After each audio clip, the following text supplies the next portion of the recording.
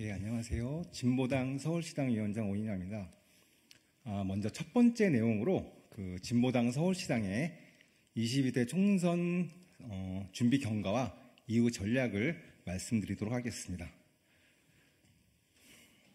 진보당은 이번 선거에서 반윤석열 연합정치로 정권 심판 돌풍을 일으키고자 합니다.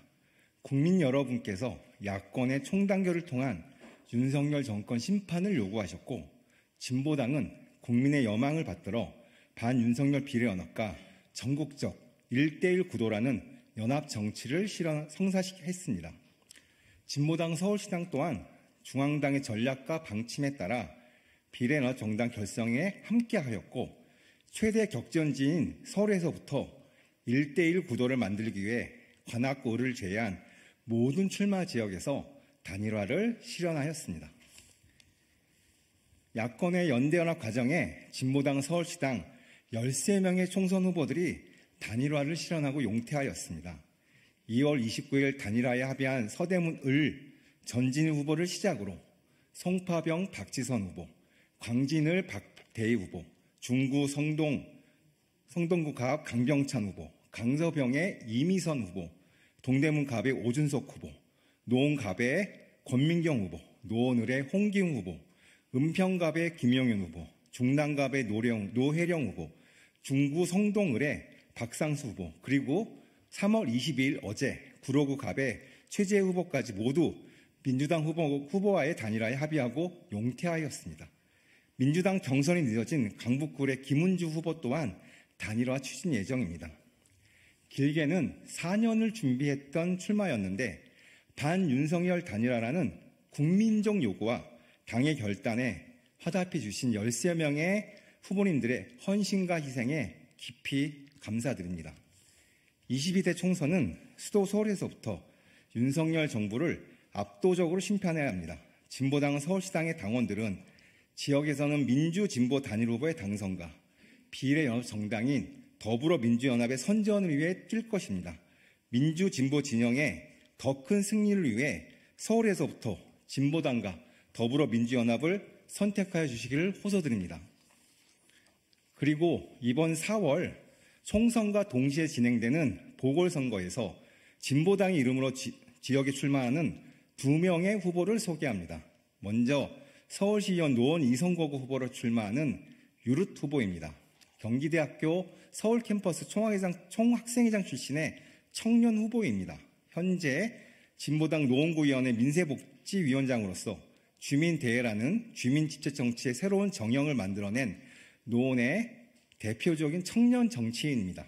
국민의힘 후보는 물론이고 민주당 후보와도 경쟁하는 선거이지만 민생 진보의 새로운 대안을 직접 제시하는 청년 유릇 후보에 주민들의 기대가 매우 큽니다. 서울 지역 유일 진보정당 기초위원인 최나영 의원과 함께 공동동에서부터 진보당의 주민중심 진보우정에 꽃을 피우겠습니다. 이를 위해 노원구위원회 당원들은 물론이고 서울시당의 당원들이 함께 당선을 목표로 뛰고 있습니다. 다음으로 진보당의 관악구을 총선 후보를 출마하는 이상규 후보입니다. 한명숙 서울시장 후보 공동선거대책위원장과 19대 관악구을 국회의원을 거쳐 민중당, 현재 진보당의 상인대표를 역임한 진보당의 대표 정치인입니다. 국회의원으로 시절 관악 주민들의 수건 사업인 도림천 수해 방지를 위한 빗물 저주조 성취와 신림성 경, 전철 착공을 이끌어냈습니다. 또한 국정원 댓글 대선 개입 정황을 폭로하고 대선 부정에 진실을 파헤쳤습니다. 야권의 단결이 필요할 때마다 가장 앞장서도 노력하고 때로는 모든 것을 뒤로하고 희생하며 국민의 명령을 실현한 대표적인 야권 단결 후보입니다. 야권의 총단결로 윤석열 심판이라는 시대적 과제에 가장 어울리는 후보이기에 서울시당은 모든 당력을 모아 반드시 당선시키고자 합니다. 진보당 서울시당은 전국적으로 전략선거구인 전, 전북, 전주을 강성 의원의 재선과 울산 북구, 윤종호 의원의 당선 위에 함께할 것이고 서울에서는 관악구을 이상규 후보의 재선과 유르트 후보의 진보정당 최초 지역구 강화의원 당선을 위해 모든 것을 쏟아붓고자 합니다. 서울 시민들의 많은 지지와 응원 부탁드리겠습니다. 먼저 이렇게 어, 진보당 서울시당의 총선 전략과 이후 계획에 대해서 말씀드렸고요. 두 번째는 지금 전국적으로 유일하게 단일화가 진행되고 있지 않은 관악굴에 대한 선, 현황에 대해서 현황과 어, 상황에 대해서 말씀드리고요. 무엇보다도 어제 그 저희 진보당 서울시당에서 단일화를 거부하는 정태 후보의 공천을 취소하라 라는 주장에 그 정태 후보 측의 어, 인터뷰가 있었는데 그 내용에 대한 반박을 먼저 하고 입장을 다시 한번 말씀드리도록 하겠습니다. 요게 그왜 어제 어제 그 정태 후보의 인터뷰 발언이 얼마나 허무맹랑한 그리고 거짓이 명백한 사실, 거짓이 명백한 것인지 말씀드리고자 합니다. 어제 발언 내용은 어제 저희들의 주장에 정태 후보는 어, 진보당이 공식적으로 관악을 해서 단일화 경선을 치르고자 요청한 적이 없다. 공식 요청이 없는데 경선을 치를 수 없는 게 아니냐라고 이렇게 반박을 했는데요. 이게 얼마나 허무맹랑한지 말씀드리도록 하겠습니다. 다 아시다시피 2월 21일 날 음, 진보당 그리고 더불어민주당 그리고 새진보연합 세 개 정당이 단일화에 합의했습니다. 반윤석열 단일화. 그래서 비, 더불어민주연합이라는 비례연합 정당을 만들기로 했고 그 다음 지역구에서는 여론조사 방식의 경선을 통해서 어, 단일화 하자라고 결론을 냈었습니다. 그래서 21일 날 발표를 하고 이상규 후보는 20, 29일 날 2월 29일 바로 이 자리에서 어, 진보당 이상규 후보는 경선하겠습니다. 라고 밝히고 어, 입장을 합니다. 그래서 선택은 이상규로 해달라고 민주진보 단일 후보의 적임자는 이상규다라고 기자회견을 했었습니다. 그리고 3월 4일 날 오마이뉴스에서는 보도를 했어요. 어, 특히 진보당에서는 의정부의 김재원 후보, 그 다음 관악 의정부의, 아, 의정부의 김재원 후보 그리고 관악을의 이상규 후보가 경선에서 선전할지 관심이 늘어나고 있다라고 기사가 됐습니다. 그리고 동네 지역 언론에서도 3월 7일 날 지역 어, 언론사인 HCN 인터뷰에서 정태 후보가 말씀을 하십니다. 어, 아직 그 중앙당 입장에 따르겠다. 그리고 관악을이 간이라 대의 지역이 될 수도 있다라고 말씀을 하십니다. 그리고 3월 12일 날은 관악 FM 지역 언론에서도 아직 협상 중인 걸로 알고 있다라고 말하고 이상규 후보는 아, 무슨 소리냐? 2월 21일 날 이미 문서로 합의했기 때문에 경선이 원칙인 거고 경선하겠다고 밝혔으니까 빨리 경선 결정하시면 된다. 라고 말을 했습니다. 그냥 즉 이상규 후보와 진보당은 일관되게 일관되게 경선하겠다고 말씀을 드렸는데 공식적으로 공식적으로 요청받은 적이 없다라고 말을 하는 거는 참으로 어, 손바닥으로 하늘을 바르는 아, 하늘을 하늘을 가리는 그런 발언이 아닌가. 과연 공당의 후보로서 자격이 있는지 다시 한번 의심할 수 없는 상황입니다. 어, 이렇게 좀 반박을 드리고요. 관련돼서 정리된 내용을 입장문으로 다시 한번 읽도록 하겠습니다.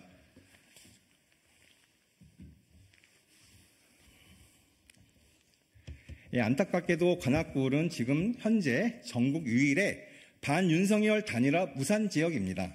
윤석열 심판이라는 전국적 열망을 실현하고자 더불어민주당, 진보당, 새 진보연합은 전국의 모든 지역구에서 여론조사 방식의 경선을 통해 후보를 단일화한다. 라는 그 합의에 따라 서울 14곳 등 전국 60여 개 선거구에서 단일화가 합의되고 있지만 유독 관악구 을만 더불어민주당 정태 후보의 거부로 단일화 경선이 진행되지 못하고 있습니다. 반윤석열 1대1 구도를 만들어 윤석열 심판하라는 국민의 요구와 야3당의 합의를 정면으로 거부한 것입니다. 이에 진보당 서울시당은 어제 기자회견을 통해 민주당 이재명 대표에게 정태 후보의 공천을 취소할 것을 공식적으로 요청하였습니다. 관련 요구에 대한 정태후 측의 답변은 경선 공식 제한이 없었기에 경선을 치를 수 없다라는 답변은 민주진보 진영의 후보로는 최소한의 신임마저 무너뜨리는 충격적인 답변이었습니다. 2월 21일 합의에 기초하여 민주당과 진보당, 중앙당 간의 추진으로 모든 지역에서 3월 15일부터 17일까지 동시다발로 단일화 경선 여론조사를 진행한 것은 모두가 알고 있는 주지의 사실입니다. 그런데 진보당 측에서 공식 제한이 없었다라고 말씀하시다니요. 경선을 진행한 모든 후보들은 지역별 합의를 한 것이 아닙니다. 각 당의 중앙당의 경선 의사를 전달하여 경선을 확정하였습니다. 특히 정태우 후보는 현재 더불어민주당의 선거대책위원회 정책본부장으로 민주당 선거 핵심 책임자 중에 한 명입니다. 당연히 중앙당 협상단으로부터 보고를 받으셨을 것이고요. 앞서 밝혀드린 것처럼 각종 언론 등을 통해 혹은 지역 주민들을 통해 진보당 이상규 후보가 경선에 나선다는 것을 이미 접했을 것입니다. 본인의 3월 초 인터뷰에서도 이를 인지하고 있음을 확인할 수 있습니다. 그러기에 이번 정태우 후보의 해명은 명백한 거짓이자 책임 회피성 물타기 발언입니다. 무엇보다 윤석열 심판이라는 국민적 열망과 야삼당의 결단에 유불리를 따지지 않고 경선을 수용하고 결과에 승복한 민주당과 진보당이 많은 후보들을 웃음거리로 만들었습니다. 이에 다시 한번 이재명 대표에게 촉구합니다. 지금 당장 정태 후보의 공천을 취소하십시오. 반윤 단일화 거부에 이어 거짓 답변으로 일관하는 정태우 후보는 민주당의 후보로서 자격이 없습니다. 아니, 전국적인 열망이자 야삼당이 합의에 따라 성사시킨 반윤석열 단일 후보가 전국적으로 승리하기 위해서라도 지금의 정태 후보는 공천을 취소시켜야 합니다. 이런 후보의 공천을 유지하는 것은 단일화에 희생한 후보들의 진정성을 훼손하고 반윤석열 단일 후보의 승리를 통해 윤석열을 심판하고자 했던 국민들의 기대와 감동에 찬물을 끼얹는 행위입니다. 이재명 후보는 지금 당장 정태 후보의 공천을 취소하십시오. 그래야 전국적으로 반윤석열 단일 후보가 이깁니다. 그래야 윤석열을 심판할 수 있습니다. 3월 21일 진보당 서울시당입니다. 고맙습니다.